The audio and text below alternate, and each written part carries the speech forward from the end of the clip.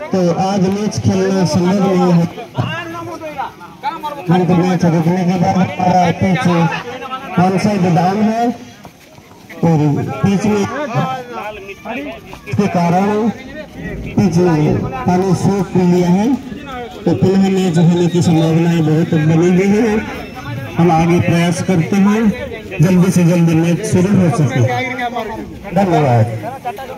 Thank you जुगेश शर्मा जी। जिनका साथ लगातार आठ साल से जीपीएल अंपायर के रूप में मिलता हुआ।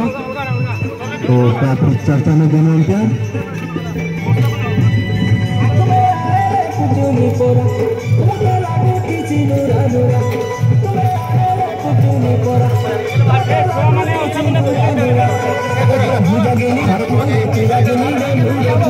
पीछे पीछे बाहर के साथ कुछ दिया जा रहा है पिच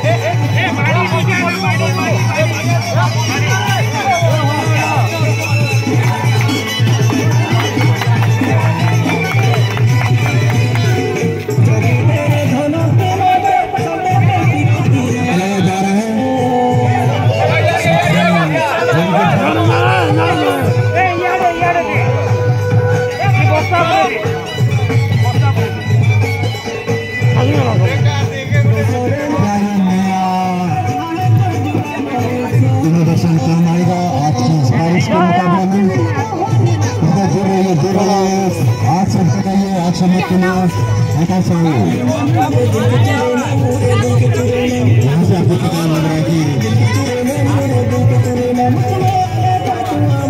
कैसी लगी तो कैसी लगी